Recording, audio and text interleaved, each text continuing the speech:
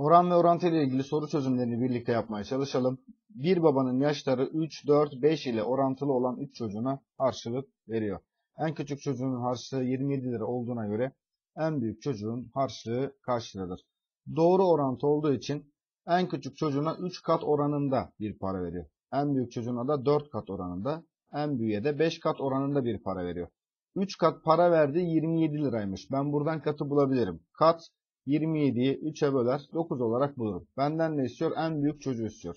Kat 9 ise 5 çarpı 9'dan 40 dışı bu şekilde bulabilirsin. Doğru cevabım D seçeneği. Onur'un bilyelerinin Erdem'in bilyelerinin oranı 5 bölü 6'dır. İkisinin bilyeleri toplamı aşağıdakilerden hangisi olamaz?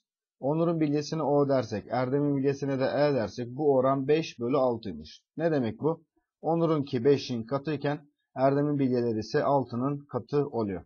Bakın toplamı aşağıdakilerden hangisi olamaz diyor. Şimdi bunların toplamına baktığım zaman 11 kat olmak zorunda. 11 kat. Mesela 1 verim katı 11 olur değil mi? A seçeneğini bulabilirim. İşte 2 verdiğimde 11 çarpı 2'den 22'yi bulabilirim.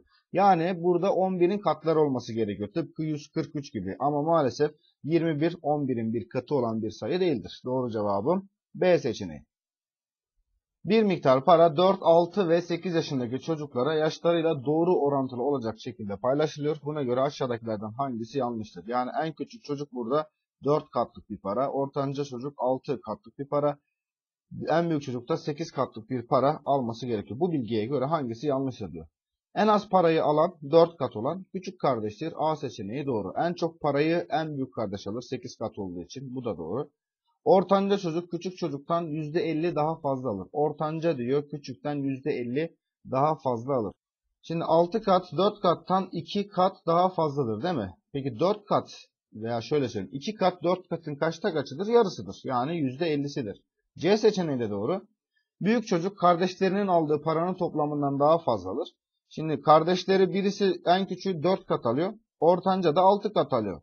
Toplamına baktığım zaman 10 katlık bir para alıyorlar. Oysa kendisi 8 kat alıyor. Diyor ki büyük çocuk yani 8 kat aldığı paranın ikisinin aldığı para 10 kattan daha fazladır diyor.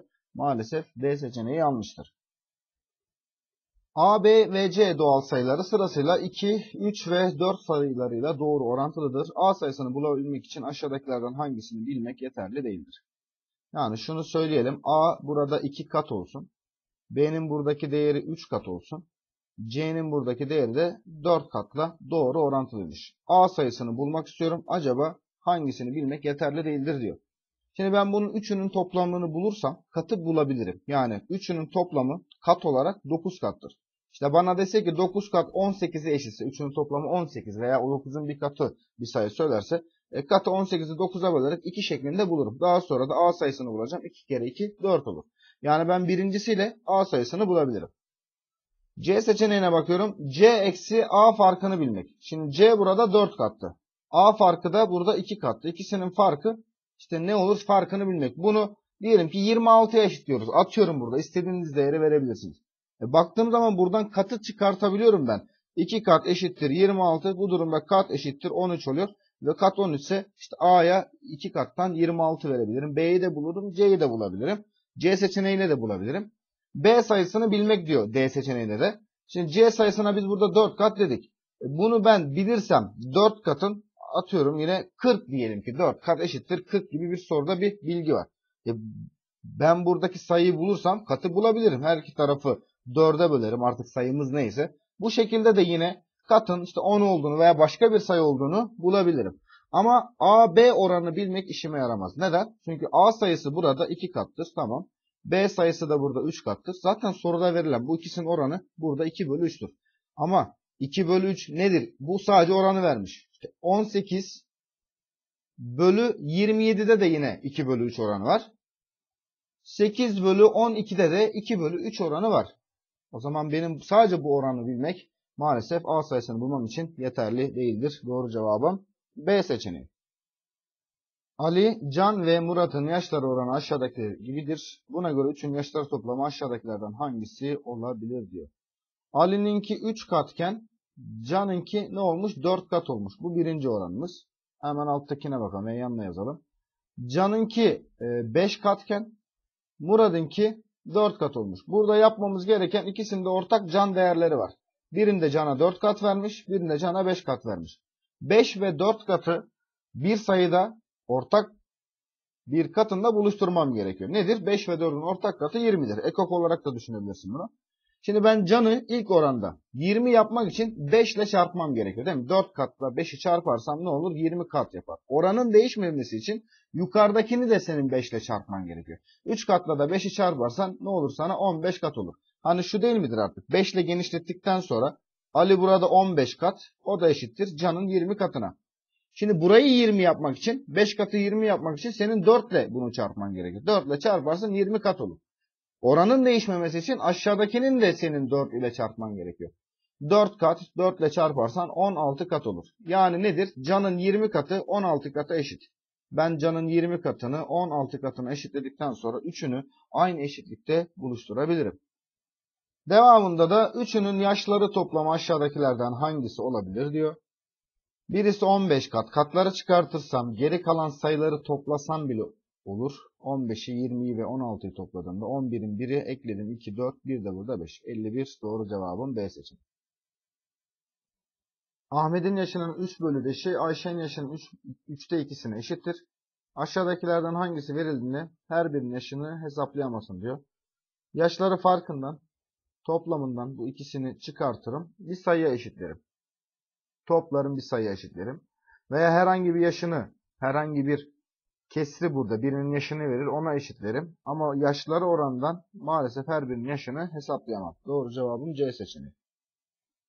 Murat, Mert ve Sinan'ın toplam 180 lira parası var. Paraları sırasıyla 5, 6, 7 ile orantılı olduğuna göre aşağıdaki ifadelerden hangisi yanlıştır? Murat'ın parası 5 kat ile orantılı. Mert'in parası o da 6 kat ile orantılı. Sinem'in parası da 7 kat ile orantılı. Toplam 180 lira paraları varmış. Kat olarak topladığım zaman 18 kat ediyor bu üçünün toplamı. İşte bu para 180 liraysa kat bu durumda ne olur? 180'i 18'e bölersem kat burada 10 olur. Yani Mert'in burada 50 TL parası var. Pardon Murat'ın 50 TL parası var. Mert'in 6 kat 6 kere 10'dan 60 lira parası var. Sinem'in de 7 kat 7 kere 10'dan 70 TL parası var. En az Murat'ın parası vardır 50 lirayla doğru. En çok Murat'ın parası vardır diyor. Burada en fazla Sinem'in parası var. Maalesef yanlış. En çok Sinem'in parası vardır. Doğru. Mert'in parası Sinem'in parasından azdır. Mert'in parası 60 lira, Sinem'in parası 70 lira. 60-70'ten tabii ki azdır. Doğru cevabım yani yanlış olan B seçeneği. Bir sınıftaki erkek öğrencilerin sayısı 13, kız öğrencilerin sayısı 4 ile orantılıdır. Bu sınıfın mevcudu en az kaç olabilir? Yani erkekler 13'ün katıyken kızlar da 4'ün katı olur. Şimdi en az olmasını istiyorum ben. O zaman kat değerini en düşük tutarsam bu sınıfın mevcudunda en az yaparım. Mesela kata en az diyorsa 1 veririm burada. 1 verirsem 13 kere 1 13'tür. Kızlara burada yine kata 1 verdiğim zaman 4 kere 1 4 olur. En az olacağı bunun 13 artı 4'ten 17. Doğru cevabım B seçeneği. İki sayının toplamının küçük sayıya oranı 12 bölü 5'tir. Sayıların farkı 38 ise küçük sayı kaçtır? Şimdi burayı bir kere iyi anlamak gerekiyor. İki sayının toplamının küçük sayıya oranı. Şimdi küçük bak büyük sayıyla küçük sayının toplamının diyor. Küçük sayıya oranı 12 bölü 5'tir. Ne anlarım buradan ben? Küçüğün, küçüğün 5 olduğunu, büyükle küçüğün toplamının da 12 olduğunu. E küçük 5 ise, buraya 5 gelirse büyük ne olur bu durumda? 7 olur.